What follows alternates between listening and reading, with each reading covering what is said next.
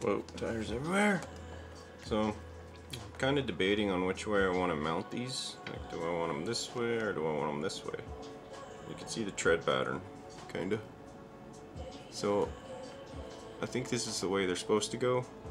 The front's digging in, but I'm doing the old knuckle test. And I'm finding that backwards, they seem to grab rock knuckle better. It's like the swamp super swampers, mudslingers, sorry. Going forward, they just go right over your knuckle, but backwards, they actually seem to grab so much better. So I'm gonna mount them backwards, see how they do.